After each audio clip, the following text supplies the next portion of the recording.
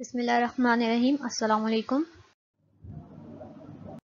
Dear students पिछले lecture में आपने सेल डिवीज़न और माइटोसिस सेल डिवीज़न के बारे में पढ़ा था। आज के लेक्चर में आप मियोसिस सेल डिवीज़न के बारे में पढ़ेंगे।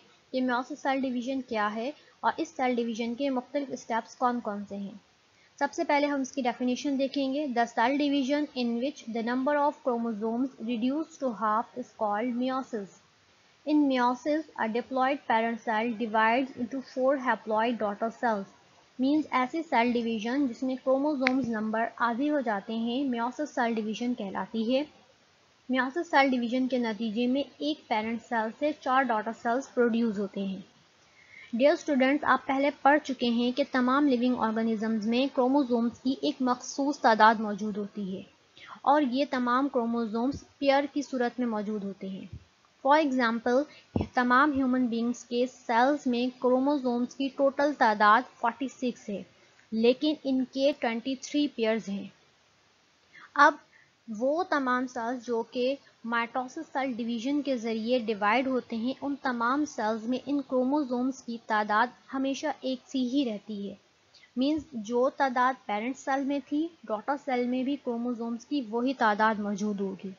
ऐसे तमाम सेल्स को सोमैटिक सेल्स कहा जाता है। और ये तमाम और ये सोमैटिक सेल्स लिविंग ऑर्गेनिजम्स की बॉडी में तकरीबन हर जगह पाए जाते हैं। लेकिन लिविंग ऑर्गेनिजम्स की बॉडी में कुछ स्पेशलाइज्ड सेल भी मौजूद होते हैं, जहाँ पर म्योसिस सेल डिवीज़न होती है। और इस म्योसिस सेल डिवीज़न के नतीजे में डॉटर सेल्स में क्रोमोसोम्स की तादाद, असल तादाद से आधी रह जाती है। और ऐसे सेल्स को हैप्लॉइड सेल्स कहा जाता है। हैप्लॉइड का मतलब ये है कि उनके अंदर क्रोमोसोम्स की तादाद आधी है, जबकि वो सेल जो कि डिवीज़न से पहले थे और उसमें क्रोमोसोम्स की असल तादाद मौजूद थी, ऐसे सेल्स को डिप्लॉइड सेल्स कहा जाता है। अब ऐसे सेल्स कहाँ पाए जाते हैं? ऐसे सेल्स रिप्रोडक्टिव ऑर्गन्स में पाए जाते हैं और ये at the time of reproduction meiosis का प्रोसेस होता है। और म्योसिस का प्रोसेस तमाम यूकैरियोटिक सेल्स में होता है। म्योसिस के नतीजे में जो सेल्स प्रोड्यूस होते हैं, उन्हें गैमेट सेल्स कहा जाता है। स्टेजेस और phases of meiosis meiosis cell division को दो फेजेस या दो स्टेजेस में डिवाइड किया गया है। पहला स्टेज जिसमें एक पेरेंट सेल डिवाइड होता है और दो डॉटर सेल्स प्रोड्यूस करता है, को म्योसिस वन कहते हैं। जबकि दूसरे स्टेज में दोनों डॉटर सेल्स फर्दर डिवाइड होते हैं और मज़ीद दो दो सेल्स प्रोड्यूस करते हैं। इस तरह टोटल फोर सेल्स प्रोड्यूस होते हैं। इस स्टेज को म्योसिस टू का नाम दिया गया है। म्योसिस वन और म्योसिस टू दोनों डिविजन्स में कैरियोकाइनेसिस और साइटोकाइनेसिस का प्रोसेस होता है। कैरियोकाइनेसिस का प्रोसेस से मुराद न्यूक्लियर डिवीज़न है साइटोकाइनेसिस से मोरा साइटोप्लाज्मिक सेल डिवीज़न है। यानी कि दोनों प्रोसेस में न्यूक्लियस भी डिवाइड होता है और साइटोप्लाज्म भी डिवाइड होता है। म्योसिस सेल डिवीज़न के पहले मरहले में एक पेरेंट सेल से दो डॉटर सेल्स प्रोड्यूस होते हैं और इस मरहले में होमोलोगस क्रोमोसोम्स एक दूसरे से अलग हो जाते हैं। यानी कि डॉटर सेल्स में क्रोमोजोम्स की तादाद आधी रह जाती है। इसी वजह से इस स्टेज या इस फ़ेज़ को रिडक्शन फ़ेज़ भी कहा जाता है। म्योसिस वन को फर्दर सब स्टेजेस में डिवाइड किया गया है, जिन्हें prophase one metaphase one anaphase one और टीलोफेज वन का नाम दिया गया है। इंटरफेस सेल डिवीज़न से पहले तमाम सेल्स खुद को प्रिपेयर करते हैं सेल डिवीज़न के लिए, और इस फ़ेज़ या इस मरहले को इंटरफेस कहा जाता है। इंटरफेस के दौरान सेल्स में कुछ चेंजेस होती हैं जो कि सेल डिवीज़न के लिए बहुत ज़रूरी है। फॉर एग्ज़ाम्पल इंटरफेस के दौरान सेल का न्यूक्लियर मटेरियल रेप्लिकेट होता है और डीएनए का अमाउंट डबल हो जाता है। न्यूक्लियस का साइज़ इंक्रीज हो जाता है। एनिमल सेल्स में सेंट्रियोल्स का पेयर डिवाइड होता है और डॉटर सेंट्रियोल्स प्रोड्यूस करता है। और इंटरफेस के एंड तक और सेल डिवीज़न के शुरू होने तक न्यूक्लियस का साइज़ जो है वो असल साइज़ से तकरीबन तीन गुना ज़्यादा हो जाता है क्योंकि वो साइटोप्लाज्म से पानी एब्जॉर्ब करता रहता है। इंटरफेस के एंड होने के फ़ौरन बाद ही सेल डिवीज़न का प्रोसेस स्टार्ट हो जाता है। प्रोफेस वन इस फेस में न्यूक्लियर मटेरियल कंडेंस हो जाता है और क्रोमोसोम की शक्ल इख्तियार कर लेता है।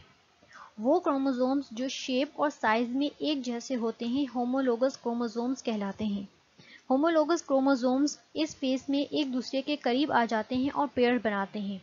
इस प्रोसेस को साइनाप्सिस कहते हैं। होमोलोगस क्रोमोसोम्स के हर पेयर में चार क्रोमेटिड्स होते हैं, इसलिए इसे टेट्रेड भी कहते हैं। होमोलोगस क्रोमोसोम्स एक दूसरे के साथ जुड़ते हैं और एक दूसरे के साथ अपने पार्ट्स एक्सचेंज करते हैं। इस प्रोसेस को क्रॉसिंग ओवर कहते हैं। प्रोफेस वन के दौरान ही न्यूक्लियर मेम्ब्रेन और न्यूक्लियस अपेयर हो जाता है और इसी प्रोसेस के साथ साथ ही स्पिंडल फाइबर्स भी अपेयर होना शुरू हो जाते हैं। Metaphase one. इस फेस में होमोलोगस क्रोमोसोम के पेयर्स स्पिंडल फाइबर की इक्वेटर पर अरेंज हो जाते हैं। इसके बाद स्पिंडल फाइबर होमोलोगस क्रोमोसोम्स के सेंट्रोमियर्स के साथ अटैच हो जाते हैं। Anaphase one. इस फ़ेज़ में तमाम क्रोमोसोम्स के सेंट्रोमियर डिवाइड हो जाते हैं, जिसके नतीजे में होमोलोगस क्रोमोसोम्स एक दूसरे से अलग हो जाते हैं, जबकि सिस्टर क्रोमेटिड्स एक दूसरे के साथ ही रहते हैं। होमोलोगस क्रोमोसोम्स के एक दूसरे से अलग होते ही स्पंडल फाइबर्स करना शुरू हो जाते हैं, जिसकी वजह से क्रोमोसोम्स अपने अपने पोल की तरफ़ मूव करना शुरू कर देते हैं। टीलोफेज वन इस फ़ेज़ में जब क्रोमोसोम्स अपोजिट पोल पर पहुँच जाते हैं तो इनके गिर्द न्यूक्लियर मेम्ब्रेन दोबारा से अपेयर हो जाती है। इसके बाद क्रोमोसोम्स दोबारा से अनकॉयल हो जाते हैं और न्यूक्लियर मटेरियल में कन्वर्ट हो जाते हैं। इसके बाद न्यूक्लियस भी दोबारा से अप्योर हो जाता है। लिहाजा इस तरह से दो डॉटर न्यूक्लियस बन जाते हैं। Cytokinesis one. इस फ़ेज़ के दौरान साइटोप्लाज्म डिवाइड हो जाता है और टू डॉटर सेल्स बन जाते हैं। हर डॉटर सेल्स में क्रोमोसोम्स की तादाद पेरेंट सेल के मुकाबले में आधी होती है। साइटोप्लाज्म की डिवीज़न के साथ ही म्योटिक सेल डिवीज़न का फ़र्स्ट स्टेज मुकम्मल हो जाता है। म्योसिस वन के बाद सेल कुछ वक्त के लिए रेस्टिंग कंडीशन में चले जाते हैं, इसे इंटरकाइनेसिस कहते हैं।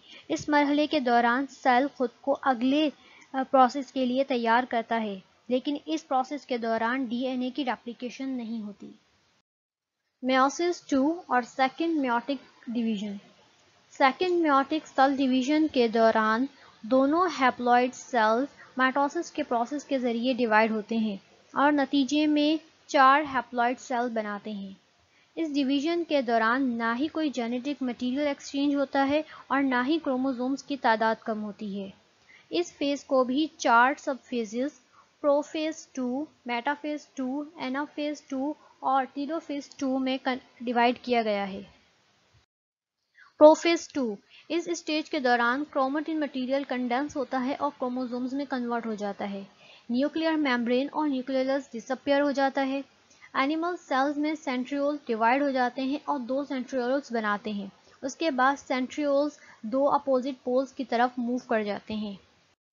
मेटाफेज टू इस स्टेज के दौरान क्रोमोसोम्स स्पिंडल फाइबर के इक्वेटर पर अरेंज हो जाते हैं, जिसके बाद स्पिंडल फाइबर क्रोमोसोम्स के सेंट्रोमियर के साथ कनेक्ट हो जाते हैं। एनाफेज टू इस स्टेज के दौरान क्रोमोसोम्स के सेंट्रोमेयर डिवाइड हो जाते हैं, जिसके नतीजे में क्रोमोसोम्स के क्रोमेटिड एक दूसरे से अलग हो जाते हैं और हर क्रोमेटिड एक अलग क्रोमोसोम्स में कन्वर्ट हो जाता है। इसके बाद स्पिंडल फाइबर सुकड़ना शुरू होते हैं, जिसकी वजह से ये क्रोमेटिड अपोजिट पोल्स की तरफ़ मूव करना शुरू हो जाते हैं। फ़ेज़ टू इस स्टेज के दौरान क्रोमोसोम्स अपोजिट पोल पर पहुँच जाते हैं और इनके गिर न्यूक्लियर मेम्ब्रेन दोबारा से अपेयर हो जाती है।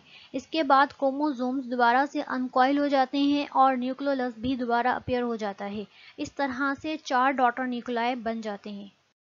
साइटोकैनेसिस टू। इस स्टेज के दौरान साइटोप्लाज्म बिल्कुल उसी तरह से डिवाइड हो जाता है, जैसे कि साइटोकैनेसिस वन में डिवाइड हुआ था और इसके नतीजे में चार डॉटर सेल्स प्रोड्यूस होते हैं। हर डॉटर सेल्स में क्रोमोसोम्स की तादाद आधी होती है, यानी कि ये हैप्लॉइड डॉटर सेल्स होते हैं। म्यासिस का प्रोसेस तमाम सेक्सुअली रिप्रोड्यूसिंग ऑर्गेनिजम्स के लिए नहायत ही अहम है। म्यासिस के प्रोसेस की वजह से ही तमाम लिविंग ऑर्गेनिजम्स में जनरेशन आफ्टर जनरेशन क्रोमोसोम्स की तादाद एक ही रहती है। अगर म्यासिस का प्रोसेस ना हो तो क्रोमोसोम्स की ये तादाद हर जनरेशन में डिफरेंट होगी। ऐसा किस तरह से होगा? हमें मालूम है कि सेक्सुअल रिप्रोडक्शन के दौरान दो गैमेट सेल्स फ्यूज होते हैं और जैगोट फॉर्मेशन करते हैं।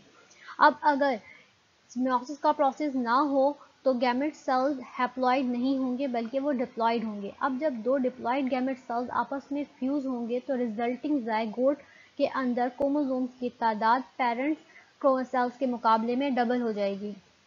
और इसी तरह से अगली जनरेशन में ये तादाद मज़ीद डबल हो जाएगी और ये तादाद फिर हर जनरेशन के साथ बढ़ती चली जाएगी और क्रोमोसोम्स की तादाद मेंटेन नहीं रहेगी। लेकिन म्योसिस के प्रोसेस के ज़रिए गैमेट की फॉर्मेशन के दौरान क्रोमोसोम्स की तादाद आधी रह जाती है। और जब दोबारा से जैगोट फॉर्मेशन होती है तो ये तादाद दोबारा से असल तादाद के जितनी हो जाती है। इस तरह से म्योसिस जो है वो क्रोमोसोम्स की तादाद को मेंटेन करता है।